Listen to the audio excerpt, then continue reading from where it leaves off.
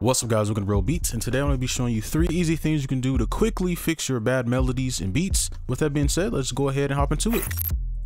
Okay, so our first tip is with the melody. So this is the sound I'm using. Um, and then I just made like a little trash melody here. It's nothing really crazy, so. It's really not that bad, but it's just for an example, okay?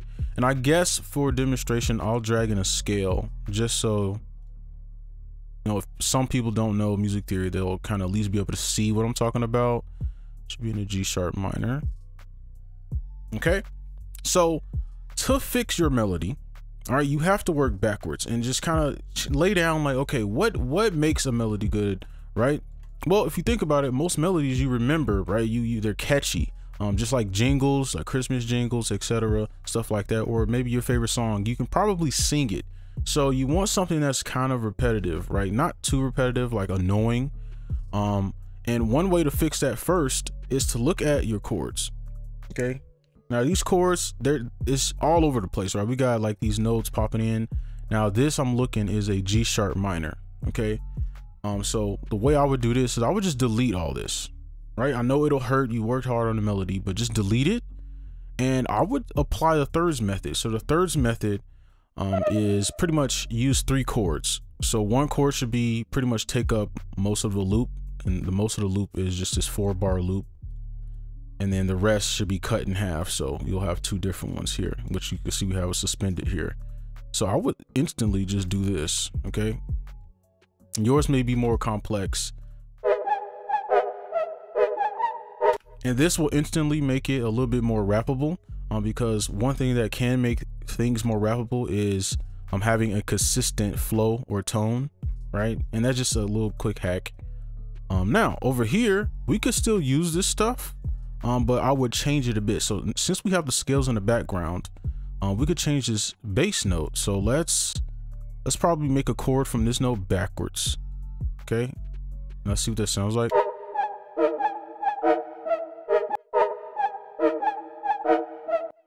And then let's do this so we have like a nice little bass line going, okay?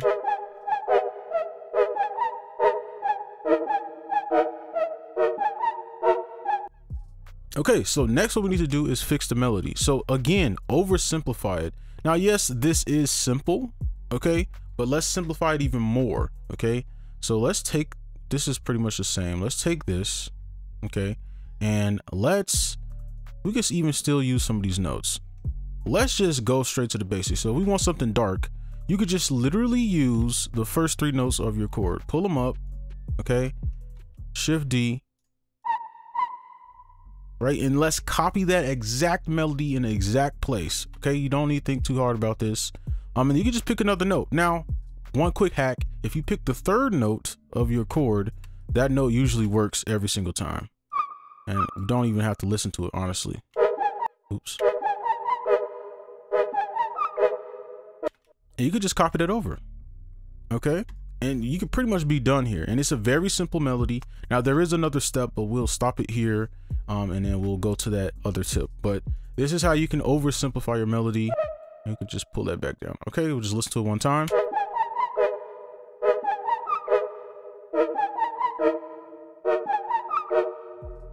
Okay?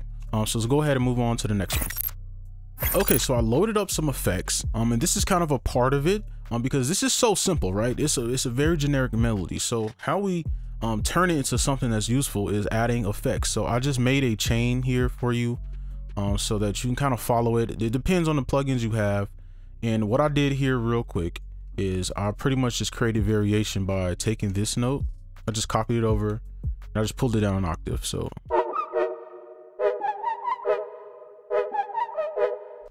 just so it's not super repetitive. Okay, so that's one thing I did do off camera. So let's go back here and I'm gonna add the effects as we go. And this is something you could do to kind of mask the melody. Um, so we'll start with all this off. And of course I just EQ'd some out some of the uh, lows. And then this is usually where the vocals will sit. So I usually would EQ a little bit of that out. Okay. Um, so first, just some reverb. Okay, so we just add some reverb to kind of get it wide. Okay, and then using like a, a chorus or something like that will kind of give it a cool effect. Okay, so it's just not super dry. So this is just, I just, this is new in FL, so I just use this because I never used it before. Um, so these are the settings. Okay, and the reason I chose a chorus is because with our next effects, uh, uh, they kind of go well with uh, these. So like we have halftime, and I just chose basic stuff, nothing crazy. Uh, so we have halftime, okay, to kind of mask it.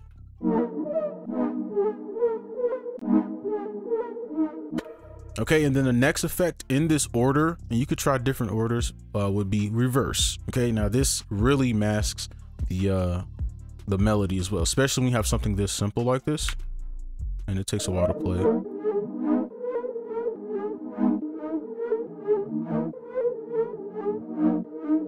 Okay, and then lastly, I would probably add like some reverb delay. I chose delay um, just to fill in some of those empty spaces. So this is just the default.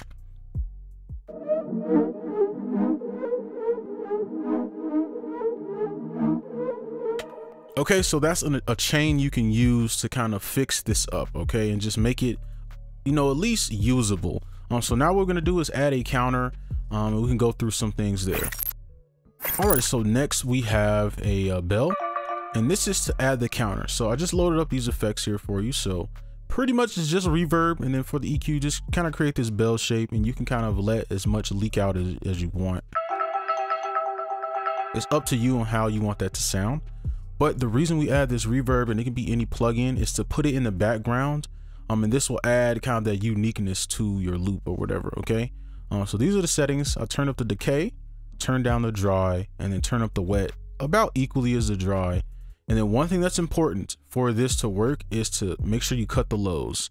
Um, now, if you if you're using this, you can copy this, but other plugins may not be able to do that. So you want to cut these lows um, so it's not clashing or anything like that, even though we EQ'd, okay? So this is without.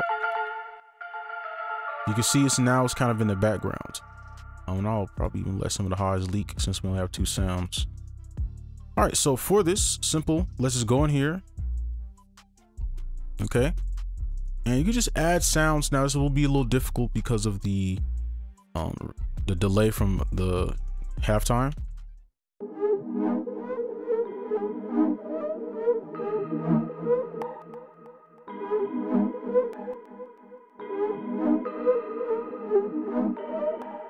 Okay, and then what I'm gonna do here is just resolve this simple melody here with using the same note. Um, so let's find a spot.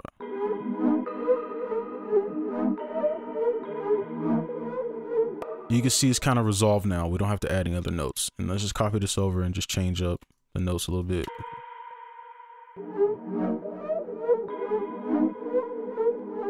Okay.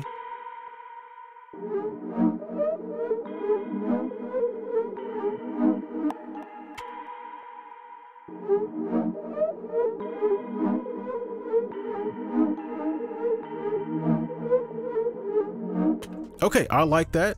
Um, so very simple. Okay, so there's something you can do, and of course you can take this to a complex type of melody, right? Um, so let's go ahead and move on to our drums. Okay, so now we're gonna go over the drums. So same thing with the first melody. You kind of want to oversimplify, except you can do a lot as long as you space things out. So you know you have people put patterns like this, and then you want to do a whole bunch of stuff, um, which probably will sound good, right? Nine times out of ten it will sound good, but if you're having issues where it's like ah something's not right it's not you know going well you know people just throw in just random drums right? What you could do is simplify this right? And you could be very selective of where you put these um, sounds. Now where to put those if you're not sure? Wherever your pillars hit. So wherever your 808 and clap hits is where you could kind of clutter them together. So i'll show you what i mean. And let's add that 808 pattern real quick. We could just throw this in there um, so let's just take this, shift D,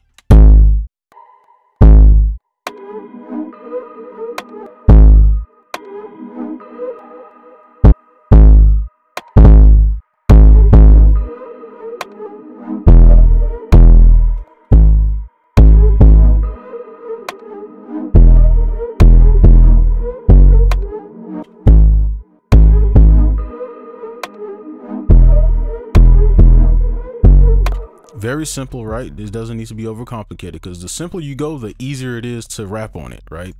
Um, so now let's go down here.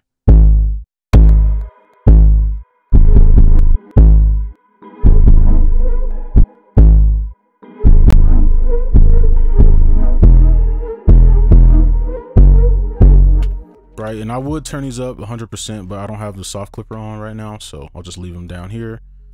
Um,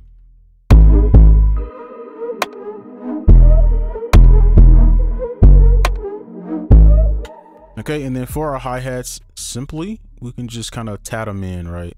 Um, you want to clutter things around here, so um, let's try. Let me see. Right, and then you see how it kind of bounces there. Um, and let's just add a few more. We don't gotta overcomplicate this one either. Let's just let's do something like that.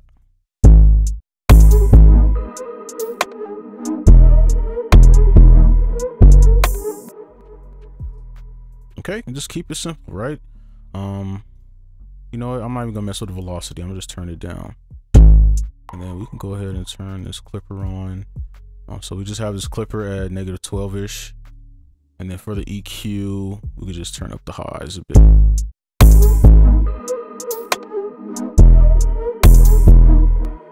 I hope this doesn't sound too bad.